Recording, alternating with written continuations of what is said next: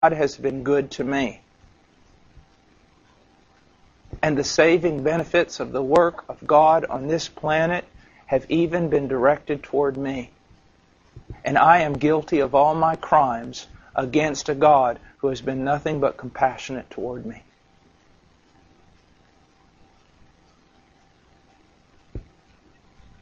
This is very important. Let me, in this culture, in this pagan culture, let me give you a little bit of advice about something. One of the things that I like to emphasize whenever I'm dealing with pagans, with those who really are anti Christian, anti Christian God, everything else, if I tell them, you've got a problem with God because He's holy, you've got a problem with God because He's righteous, well, then they, they throw up this thing about, well, you know, you're imposing a morality upon me and all these different things. Now, I do do that. But here's something I like to throw at them. You have a problem with God. You have anger against God. You hate God because He's good. What do you mean? Why would anybody hate a good God? You hate God because He's loving. What do you mean I hate God because He's loving and good? Why would anybody do that? Well, no one would unless they were not loving or good. And you are neither. You're not. Lo- I, I am too. Well, let's just look at your relationships for a moment. Let's just talk about relationships you've had in the past with people. How loving have you demonstrated yourself to be? Well, I, how good are you? Let me just ask you that question. Let's just talk about your goodness. You see, just throw it back at them. Because it really shocks people when you tell them, look, you've got a problem with God because He's good. Deal with it on that level. And I love to portray. And, and listen to me, you guys that have understood some things about sovereign grace, you better be careful and you better you better not just interpret everything trying to protect that doctrine. Here's what you need to see. There are many verses in the Bible. I believe in sovereign grace as strong as anybody on the face of the earth. I am not going to interpret verses, though, out of their context in order to protect the doctrine of sovereign grace. I do not have to protect the doctrine of sovereign grace. Okay? Just interpret a verse for what it says. Just do that. You're not required to tie up all the loose ends. You're required to proclaim Scripture. And that's what I love about Spurgeon. When he got to a text, he preached the text instead of trying to manipulate the text around so that it didn't in any way infringe upon the doctrine of sovereign grace. Because if you do that, you'll be doing the same thing that the Arminian does when he preaches Romans 9. Don't do that. Preach the text. And be excited about preaching the love of God towards all men. Be excited about giving an open invitation to all men. Tell all men if they go to hell, it is their own fault. Beg men to come to Christ. Show all men how God has been good to them. He has been.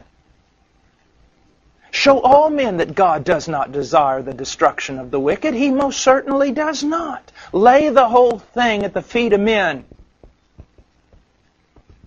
It's absolutely preposterous to get into all these ideas of decrees and everything else and being so careful with your language you can no longer preach the gospel. It's just absurd. What you're doing is you're preaching in such a way and trying to be so clean so that you won't be a scandal. You're doing it for your own reputation. And when the Bible says something, just go ahead and preach it. And then don't spend 30 minutes explaining what you're not meaning. So that someone from the camp you're in won't think you've gone awry. Just preach the text. Some guys preach like commentators after a, a presidential debate. Well, he said this, but now let's go in to see what he really meant. No, that's what he really meant. What he said. Don't protect God. He doesn't need your help.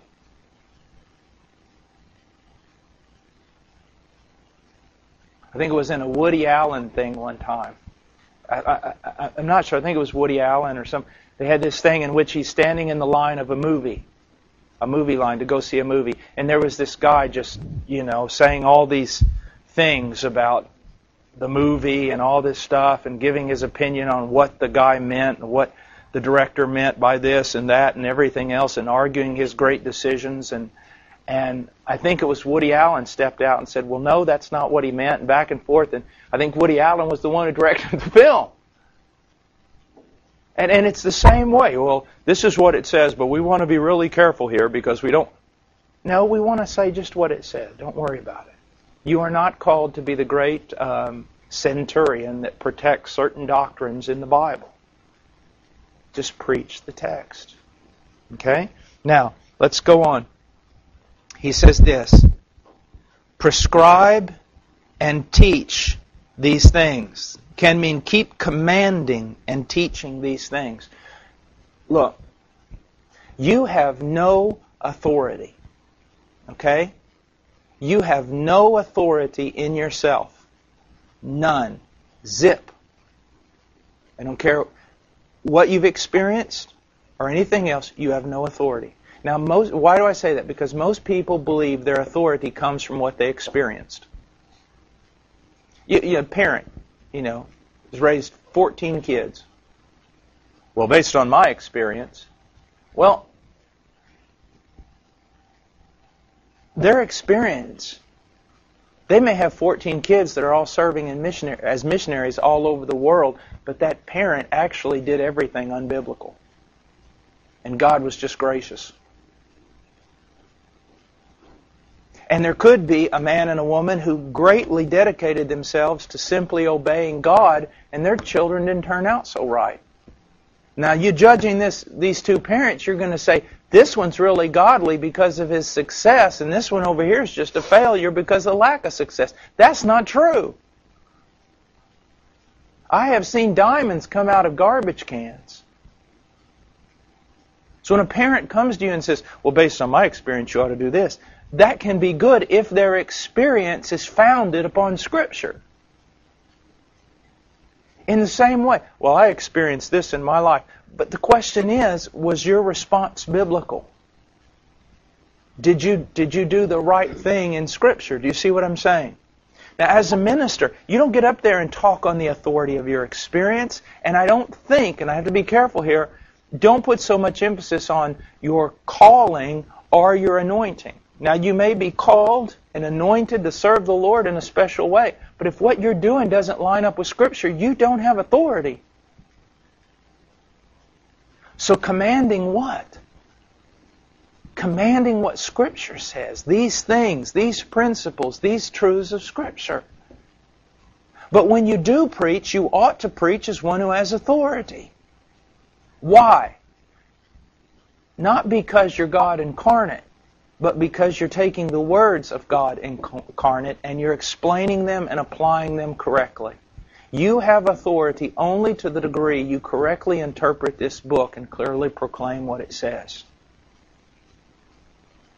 Now, he says, Let no one look down on your youthfulness, but rather in speech, conduct, love, faith, and purity show yourself an example of those who believe. Now, Guys, you can't take half of this verse. You can't just take half of this verse. I, so many young guys now don't look down on me just because I'm young. Okay, I won't look down on you just because you're young if you show yourself an example of those who believe in speech, conduct, love, faith, and purity. Do you see? It's not just don't look down on me because I'm young. Don't look down on me why? Because of these character traits in my life. Now, here's something I want you to look at. If you ever, though, someone looks down at you and you say, Don't look down at me, you've got a problem. Now, there may come a time when you have to defend your ministry for the sake of the ministry and the truth. I was in a conversation the other day, and the guy said, Sometimes I just want to fight. And I said, Why? He said, The way, the way some people treat you. I said, Really? He goes, Yeah. He goes, It just isn't right, especially some of these young guys. And I said, I said, let, look, let God be the defense.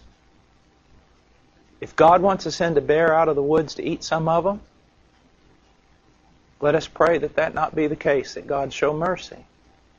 But we have no need of